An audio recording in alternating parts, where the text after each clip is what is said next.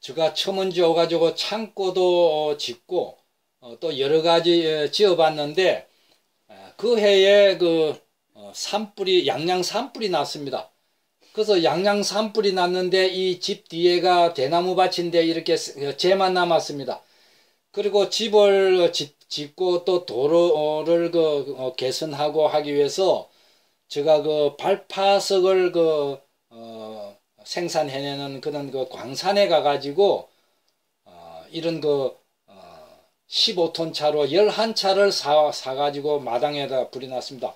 그래서 이런 많은 돌을 가지고 아, 그동안 제가 잘라서 아, 벽도 쌓고 집도 짓고 창고도 짓고 도로도 깔고 했는데 그때 사람들이 그 어, 돌집 짓는 거를 많이 배우러 왔습니다. 그래서 어, 이런 그 어, 마당에 무지무지한 돌이 많이 있었는데 이것을 전부 다 이래 잘라 가지고 어, 집을 어, 짓고 그랬습니다.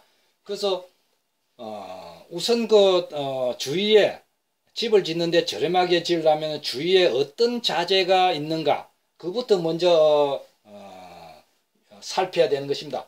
그래서 이렇게 발파석을 사오더라도 어, 면이 이렇게 반듯한 면은 자기가 그 자를 수 있는 그 최대한 그 어, 넓게 이렇게 잘라버리면은 이 반듯한 면이 어, 벽면 전면에 나오게 하면은 어, 아주 쉽게 어, 집한 채 짓는데 그 돌 한달 정도만 자르고 이렇게 가공을 한다면은 충분한 그 건물 외벽은 쌀 수 있는 돌이 생산된다.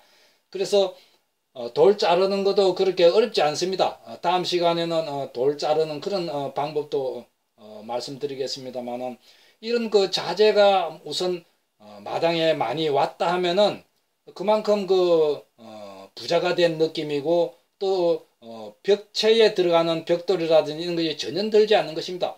그래서 이 돌로 가지고 어, 갬돌도 만들고 구들도 놓고 벽도 쌓고 또 도로에 올라오는 그 세면 포장보다는 이는 판석을 만들어 가지고 돌을 깔게 되면은 자연스럽고 어, 해서 아주 좋은 것입니다. 그래서 주위에 건물을 어, 지을 수 있는 자재, 그러니까 흙이 있는가, 또 돌이 있는가, 또 나무가 있는가 이런 것을 살펴가지고 주위에서 구한다면은 적은 돈으로 어, 집을 어, 충분히 지을 수 있다 이런 것을 말씀드릴 수 있겠습니다.